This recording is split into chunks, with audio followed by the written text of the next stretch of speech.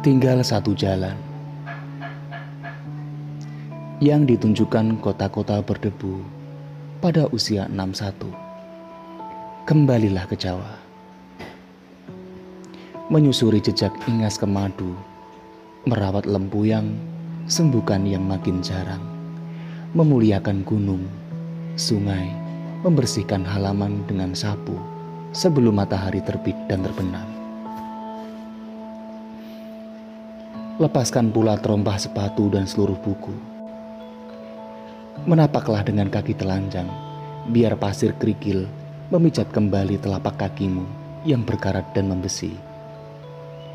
Disaksikan rumput ilalang, senyum dan tembang. Kusinggahi makam nenek moyang tanpa bertanya siapa mereka. Apakah keturunan matahari atau rembulan?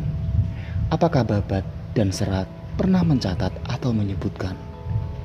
Mungkin lewat bunyi perkutut atau derkuku, mengejawantahkan lagi nasihat para wali, merasuk kembali pepatah petitih ke dalam puisi, merayakan sekuntum melati mekar pada setiap hati sanubari.